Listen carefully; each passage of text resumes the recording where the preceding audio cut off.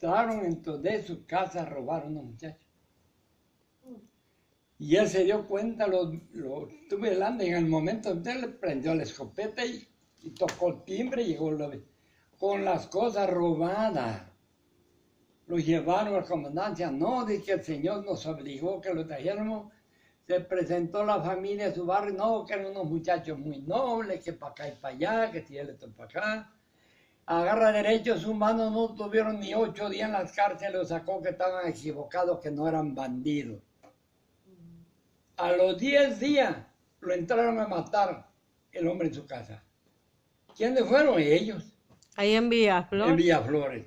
¿Caso, ¿Caso le hicieron algo, pues? Sí, es que a veces derechos humanos este, defiende al ladrón, eso es muy cierto. Eh, así es. saber qué pasó allá. Por eso, pasó en una moto el hombre y lo, él salió de edad discurso, no sé qué. Y ahí lo mataron. Ay, no. A la hora que iba caminando pasó la moto y...